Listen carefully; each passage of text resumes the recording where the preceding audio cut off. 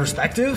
Well, it's the way you look at things. Well, I'm not looking at any fish. If you change the way you look at things, the things you look at change.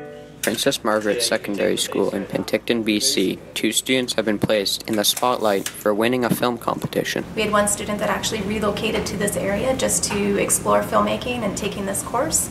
Um, showed a lot of dedication, and I also looked for students that worked well together. The competition was a five-hour time frame, so I had to find students that could be successful in technology and storyline, but also that would be able to work well together and support each other. I, I think what my family more did was, you know, teach me to kind of have an open mind towards things, be able to, you know, form some form of coherent thought. You know, it may not be evident on the camera, but I, I really feel like it just kind of kept me open minded towards film and the ideas for that. And here I am now. These boys were expecting to succeed, but they were not expecting the outcome that they got. Uh, more surprised, if anything.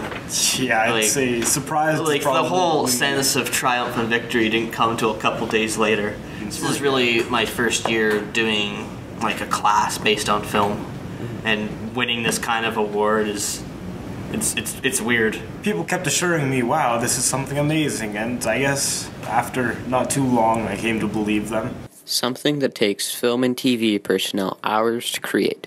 Contest rules stated the students had five hours to take the topic, create a storyline, recruit actors, record video, edit and piece together for a final product.